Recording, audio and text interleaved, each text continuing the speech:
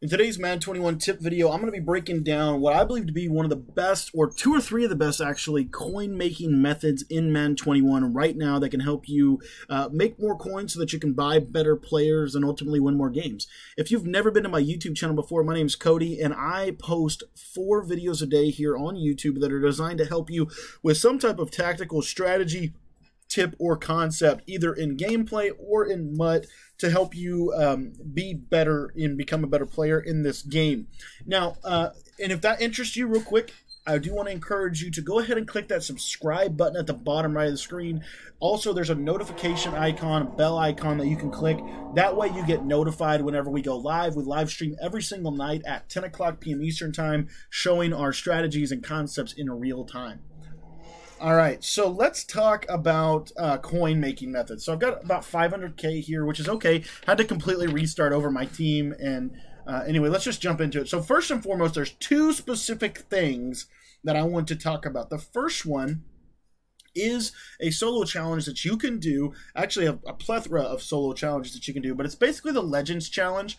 And you see here, what I can do is I can go down any of these, any of these legend legends right here, and I can get the power up for all of these players. Now, power up cards this year are going for a lot of coins, and so I'll show you that in the auction house. But basically, you do these challenges. Basically, all you got to do is you've got to complete a game, and what's going to happen is you can win a game. I've got videos and strategies about how you can basically get through these games really, really easy uh, on offense and on defense. I do want to show you what these power ups are going for, and this is this is the really the important part of this. And what I would honestly do is I would sell these cards either um, you can sell them either today.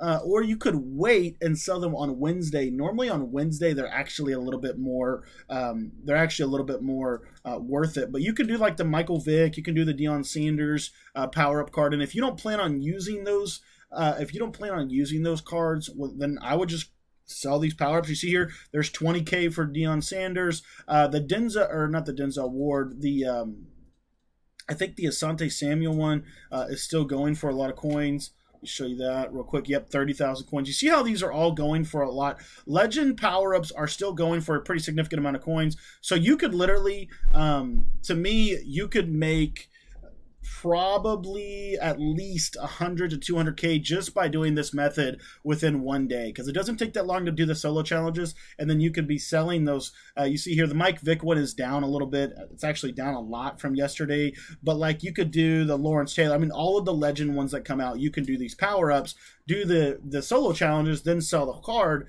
and you'll see like um, the lawrence taylor one let me see if i can find uh, the power up for him but the right outside linebacker Lawrence Taylor is going for 15K. And again, you can just do this. This will stockpile on itself.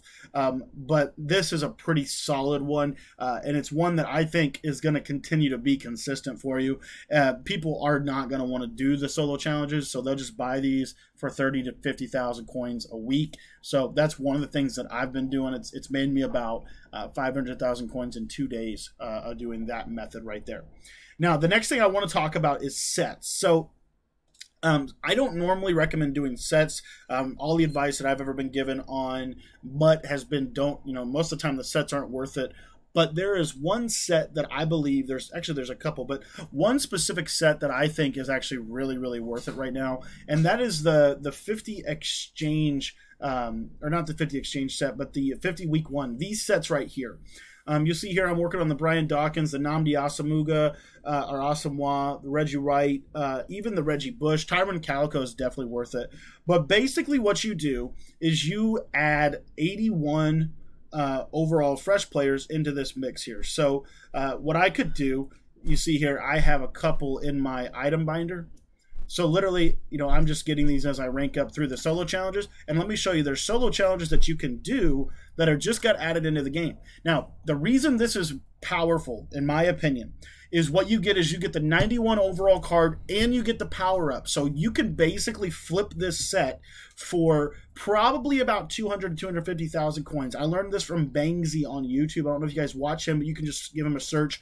But he put me onto this method uh, late last night this is pretty effective. Uh, let me show you how much bron- and the reason that this is important is because the power up cards that are in those sets, you can't pull those in packs.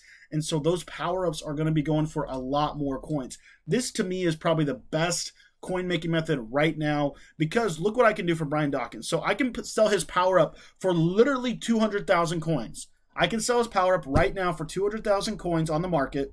And then what I can do is I can take his 91 overall version and he is going right now for about 400 uh, 430,000 coins. So you're going to profit or, or you're going to make about 650,000 coins doing this method. And I'm just telling you right now, it's probably going to cost you. Um, it's going to cost you roughly, um, if the math that I did is correct, it's going to cost you about 350 to 400k to do the sets if you don't do the solo if you don't do the solo challenge. So you're still going to profit about 300 to 200 or 250 to 300k if you don't do the solo challenges. Now, if you do the solo challenges, let me show you these solo challenges right here. You can do these every single week. This is going to work consistently. This is going to be going forward. This is going to be a really good method. But basically, it's the 50 challenge. Um, you can do the weekly 50. You see here, I've got a couple more to do. It's going to give you a non-actionable fresh player. What you can do with those players is you can then put them into the set and get that card. Um, I can also do all of these 50 challenges here. You see, I've gotten a lot of 81 overall players. I've got to do a couple of more here to finish out the tier. But you see what I'm talking about with this. These solo challenges take very, very little time to do. You're going to profit significantly out this. I stand right now to probably make about 650,000 coins just off Brian Dawkins alone. And you can do this for other players. It's not just Brian Dawkins. And this is what's so cool about it is that you get the power up and the card. Um, to me, that's what makes it so so effective. One other method that you could do to do that, if you wanted to do something like that, one thing you can do is you can come into the store here, go over to the auction or to the Muthead store or to the MUT store. And basically, what you're going to do is you're going to do these get a player packs. These 62 overall get a player packs. And essentially, what you're trying to do is you're trying to roll uh, for a power up card. Okay, if you don't get a power up card, if you just get those silver cards, then what you can do, and you can do, it'll take you a, a, significant amount of time, but you can do this while you're watching football. That's what I plan to do today while I'm watching Sunday, uh, Sunday uh, morning and Sunday afternoon football. This is what I plan to do. But basically, what you're going to do is once you start rolling those get a player packs, which those are always in my opinion, those are the most consistent coin making methods throughout all years. Uh, what you can do, but you can go over here into these player exchange sets, and I can exchange those silver players up to this 75 to 79 overall gold. Once I get a 79 overall gold, then what I can do is I can come back over into my 50 series here, go to the 50 exchange set, and then every eight times I get a gold player, I throw it in there.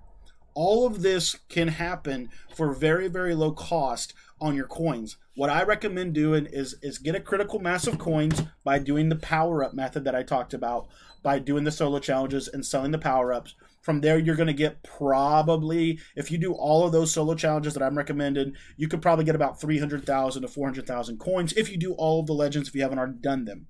Okay, from that point, once you got a critical mass of coins, then you can do the get a player packs and basically roll those into these 81 overalls. And if you pull good power up cards, you can easily just auction those off on the block because every now and then, and, and what I have heard is the packs are your odds of getting better players and packs are going up significantly. So to me, this is one of the best coin making uh, methods on the market right now. And then one last one I did want to cover that I have never that I've really I did not know about until uh, somebody told me about this. But if you go to browse the store, uh, one of the methods you're going to do if you have a plethora of training points, right? Right now you see I have nine thousand training points. Um, you can and you can go on Muthead and get you know you you can easily get those uh, fairly quickly.